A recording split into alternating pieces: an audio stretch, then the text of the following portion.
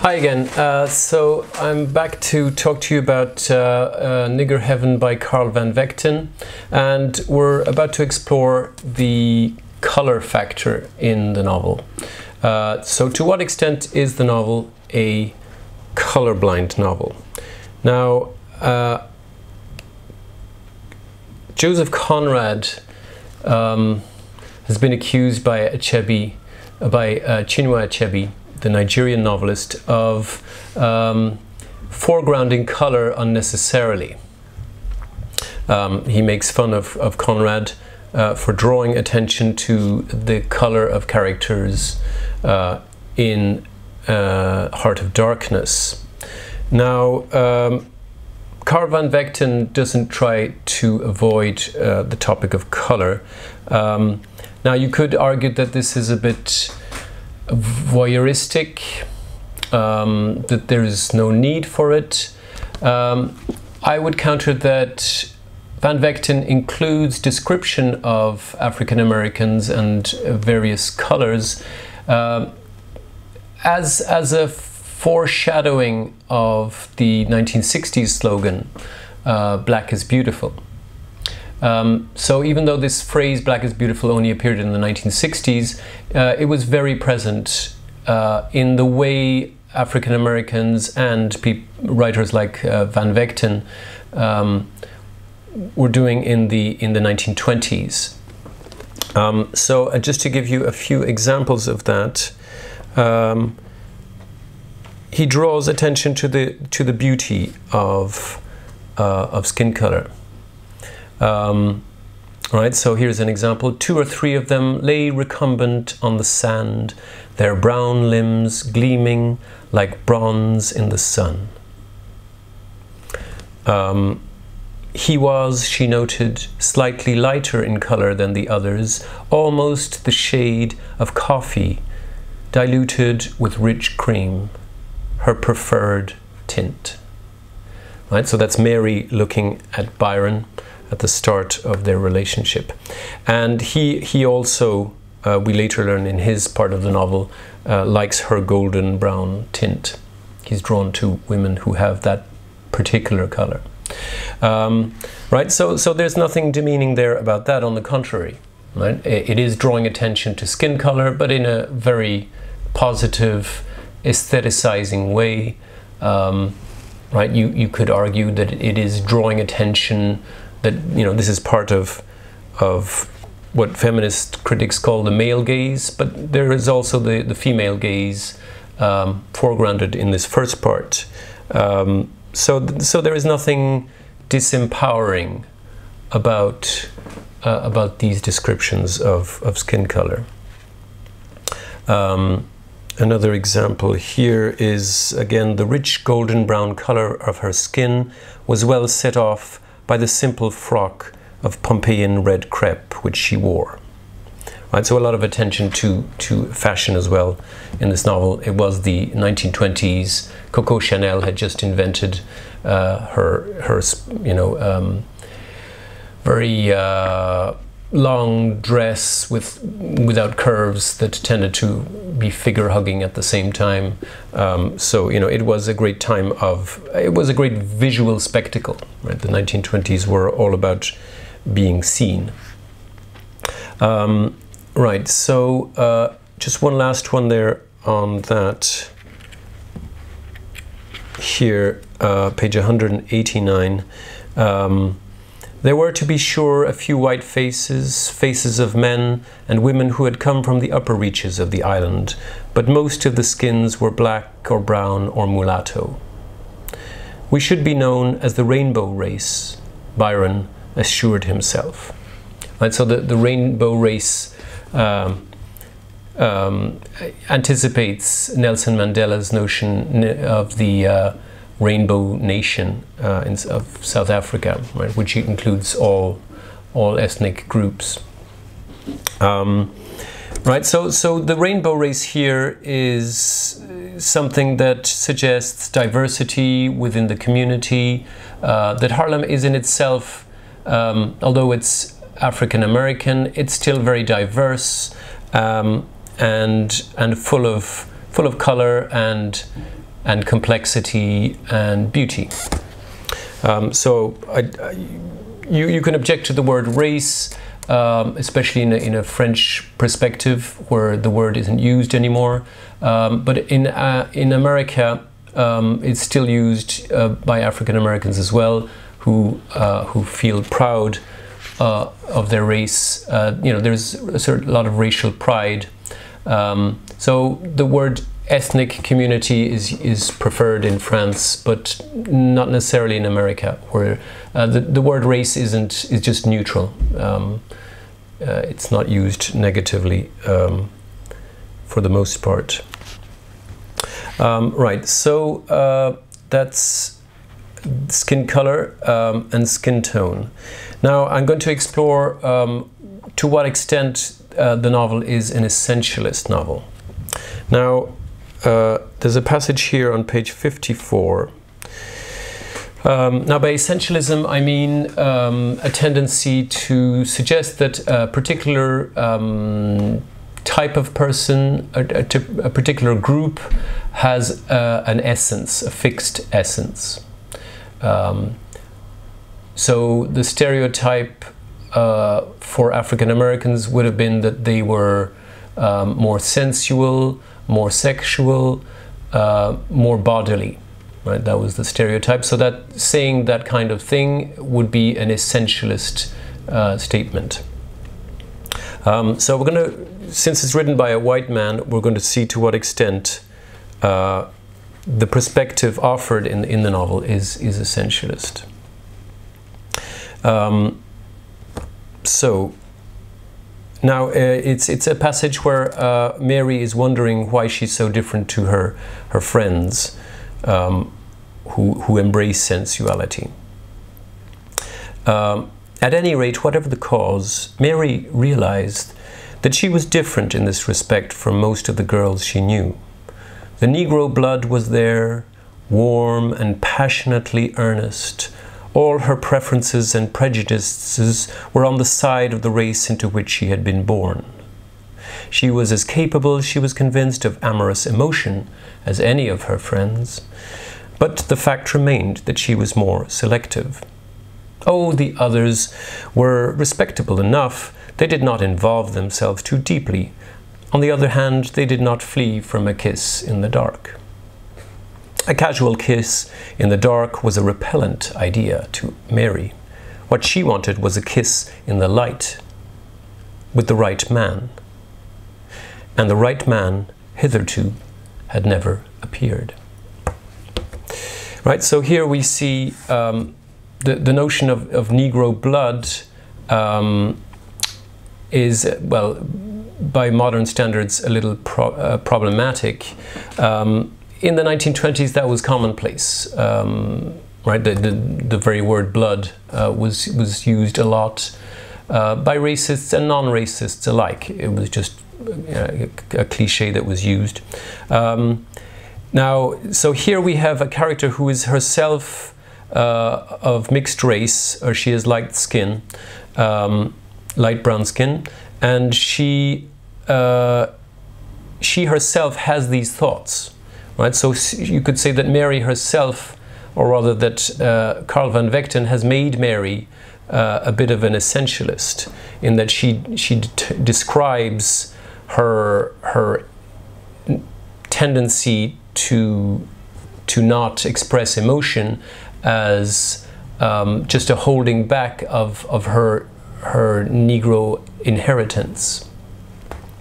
Um, so so a, definite tendency there to uh, to essentialize um, African Americans uh, and well Africans as more sensual, more emotional. Um, so now another passage here um, is page 89. Um, now, uh, this time she's at uh, listening to um, jazz. Uh, now it says she's, she had seen Hester fall under the sway of Negro music that evening at her home. On many other occasions, she had observed this phenomenon. How many times she had watched her friends listening listlessly or with forced affection, uh, affected attention to alien music, which said little to the Negro soul, by Schubert or Schumann immediately thereafter losing themselves in a burst of jazz or the glory of an evangelical spiritual, recognizing, no doubt, in some dim biological way, the beat of the African rhythm.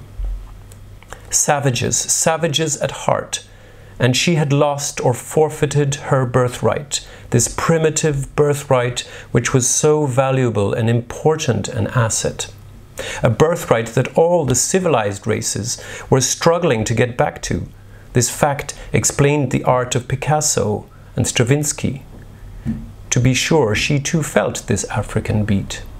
It completely aroused her emotionally, but she was conscious of feeling it.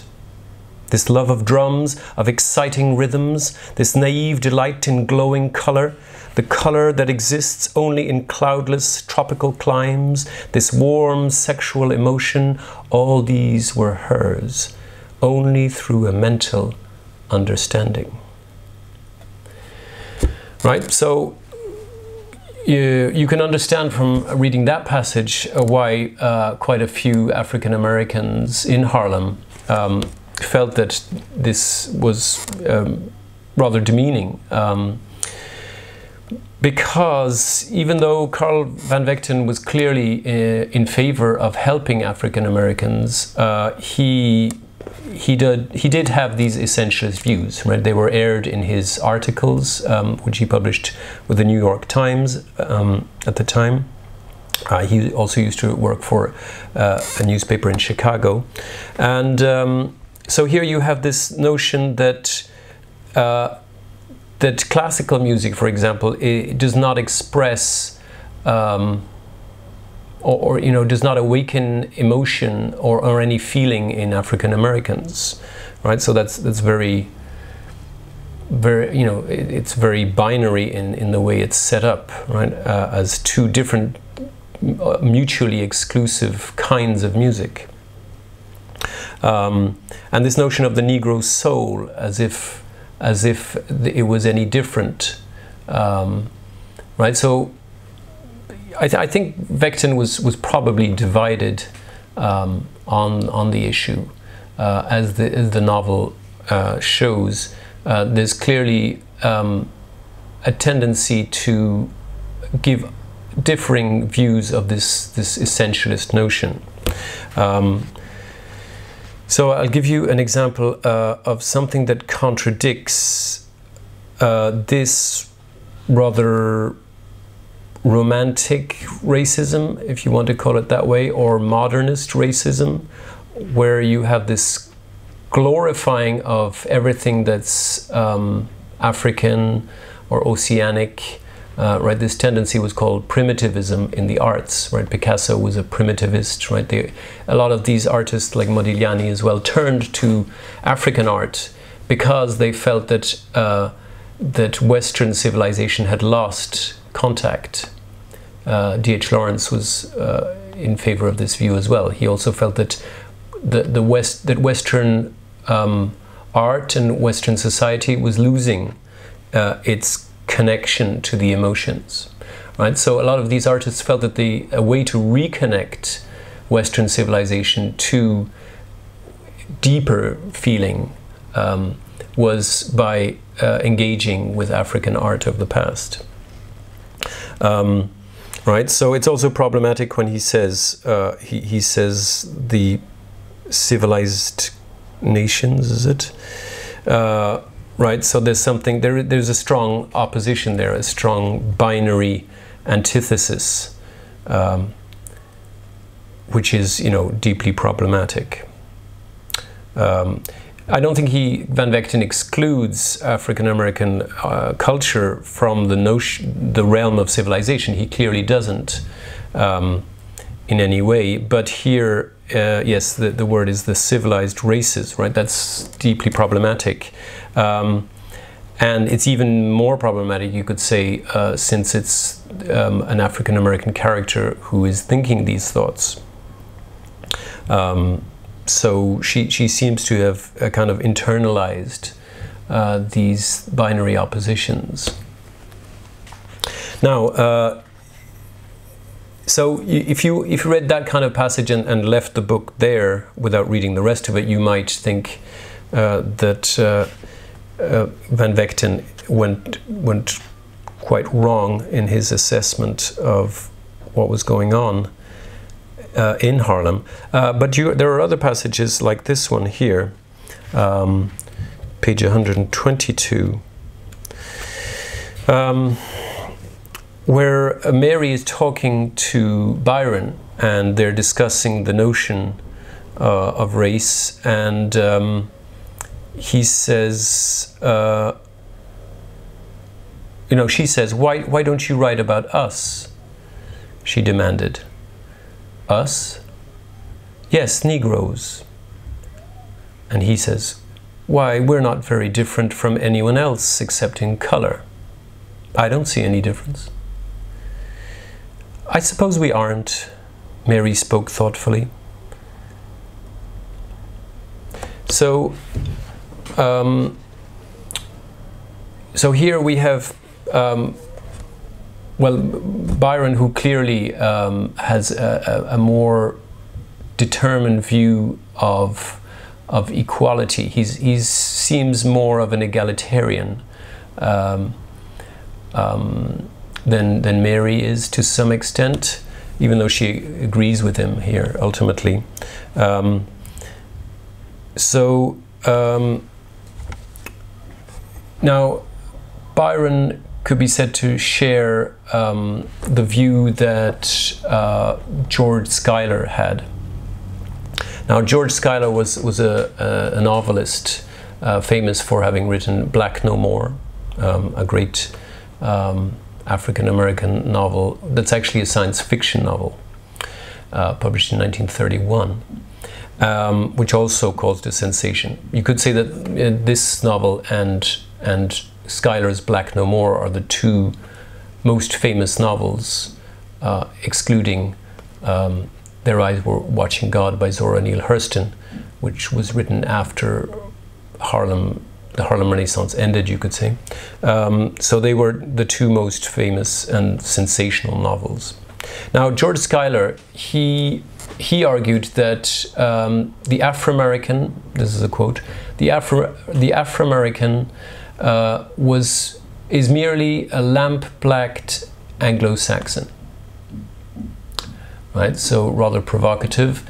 Um, that the only difference uh, really between uh, an Anglo-Saxon, since America is based on Anglo-Saxon culture for the most part, uh, the only difference is um, just um, tanning, right? So uh, skin color. Um, and now he was he was quite isolated in that view, um, not because he wasn't, not because he was the only person who was um, who had a kind of de desegregated, deracialized mind, but because a lot of the African American elite in Harlem uh, wanted to be um, seen as defining um, an essence, a different um, kind of art.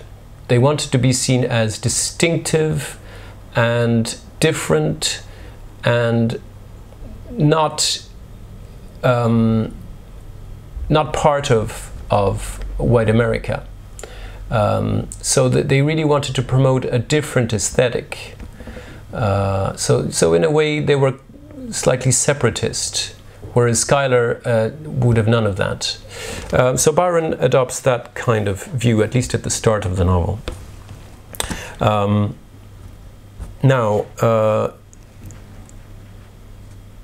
so the, so essentialism there is is subverted, right? So this, the essentialism that's uh, presented in the novel uh, is is also uh, subverted in the novel. Right, so this is more like what uh, Mikhail Bakhtin, the Russian uh, critic, uh, the structuralist critic, argued, um, right, was that novels and wor works of literature, especially plays and, and novels, were um, polyphonic in that they expressed several views. They didn't express one fixed view. Um, so here you, you, they articulate different kinds of perceptions. Um, so we clearly have uh, that going on here. Uh, another example is on page 210, um, where uh, you have another kind of undermining of, of essentialism.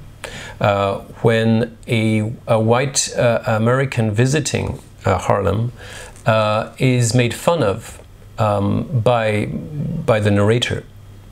Um, so this, this I'll just read you the passage and then uh, comment on it. So th this character says, I think you are wonderful people, he announced. A perfectly wonderful people, such verve and vivacity, such dancing, such singing, and I've always thought colored people were lazy. I suppose, he added reflectively, that it's because you're all so happy. That's it, Rusk, he cried.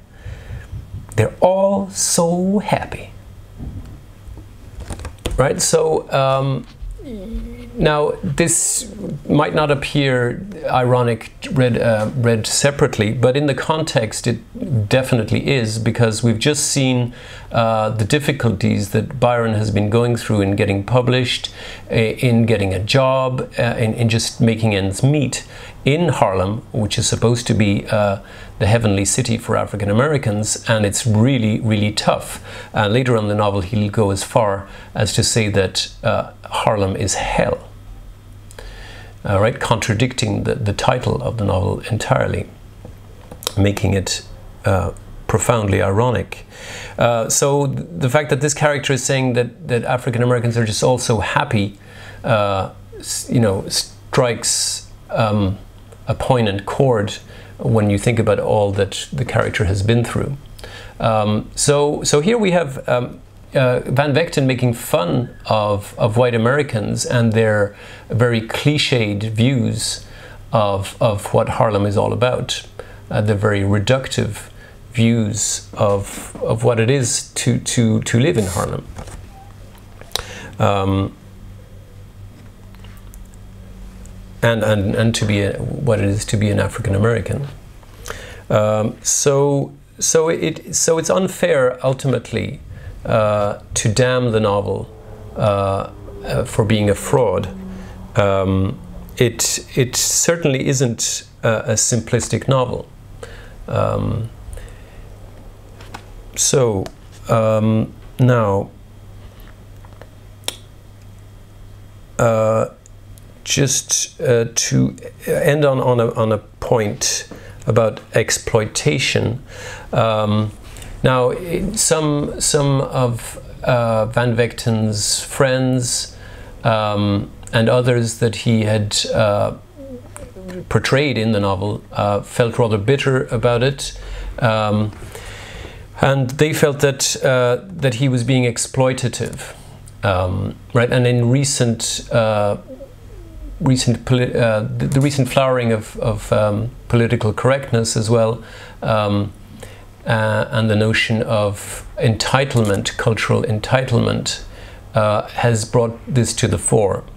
Um, now, some some culture critics argue that you are no longer allowed to uh, to use the culture of others to to explore it. That that is a form of theft and that you are not entitled if, uh, to a certain cultural experience if you do not belong to that cultural experience. Um, you know, people like John Steinbeck had, had no problems about that. I mean, he, he used to uh, ask laborers to tell them, tell him stories, um, and he would just write these stories down um, as his, well, as his own in a sense. Um, he used to pay them a few dollars, um, so he wasn't heartless. But you know that that kind of cultural theft went on. Uh, that was it, it's only recently in, in, since the year the years well the first years of the 1980s and then again at, at, the start of the 21st century that um, the notion of, of cultural entitlement um, has reappeared. So you could say that the novel is exploitative in that it does cash in on uh, African American experience. Um, but I, I, would ultimately argue that uh, the novel does provide um, an accurate picture of Harlem. Um, it it did gain um, Van Vechten some some notoriety, um, and he was able to sell his novel more widely thanks to to its topic. Um, but that ultimately his um, he, he, he did labor over this novel a lot and it did it was dear to his heart and he did want to promote the uh, the values of his friends and their achievements. He mentions Langston Hughes. He used Langston Hughes's poetry in the novel. Um, so it really does foreground um, African American um, worthiness, uh, the, the worthiness of uh, Harlemite culture. Um, so I'll I'll end with that um, and just a passage uh, where Van Vechten has his character uh, uh, talking to Mary and this other um, man, Gareth, and um, they they um, it's suggested that um, African Americans need to start writing more about their own experience, uh, or white Americans writers will will just seize on it. Uh, so Van Vechten does does include his own guilt uh, about about writing about something that he is not really a part of. Uh, although you know he went there so often that you could say that it was his life as well. Living in Harlem was his life. Um, so here it is. Do you know, he went on wistfully, I think I'd like to write a Negro novel. Mary laughed. Everybody seems to be doing that. Have we become so interesting? Someday, Dr. Lancaster was saying, perhaps a Negro will write a novel about white people. I'd like to see that done, Gareth said. It has been done, said Mary. I suppose you mean Dumas? Alexandre Dumas, suggested Dr. Lancaster. Or Pushkin, Alexander Pushkin, Gareth offered. No, I mean by an American Negro, Charles W. Chesnutt. He's written several novels from a white point of view. Right, so Mary is a librarian and she's very learned. She knows uh, all about literature. Um, and uh, so Van Vechten here is um, pointing out that uh, uh, uh there have been African American writers who have written about very success, very successfully about African American experience, uh, and that um, this needs to be done uh, more by uh, African Americans uh, on every level. So, okay. See you. Thank you very much. Bye.